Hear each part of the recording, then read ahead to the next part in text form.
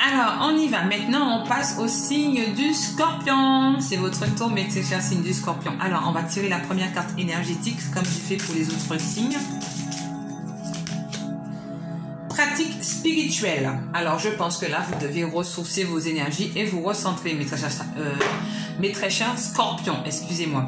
C'est-à-dire que je pense que vous, là, énergétiquement, vous devez être vraiment dans l'impulsion, vous devez vraiment être dans la colère, vous devez vraiment être dans cette, dans cette, dans cette phase où vous avez l'impression que on ne vous comprend pas, qu'on ne vous écoute pas ou qu'on ne fait pas cet effort de vous comprendre, de vous écouter.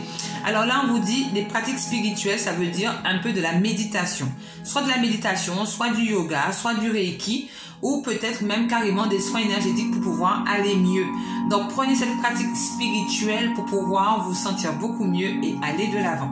Donc nous allons voir bien sûr les quatre, les trois cartes du moins d'évolution. Alors, on parle de soumission, sacrifice et punition.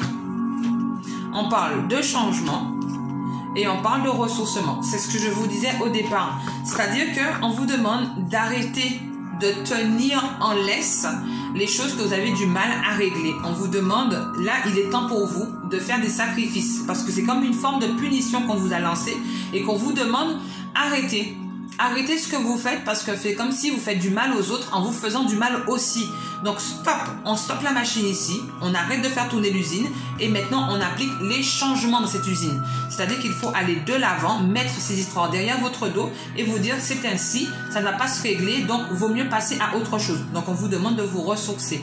Donc faites tout ce qu'on appelle des nettoyages énergétiques autour de vous pour pouvoir aller mieux ou peut-être des petites séances de Reiki, de méditation ou de yoga. Voilà.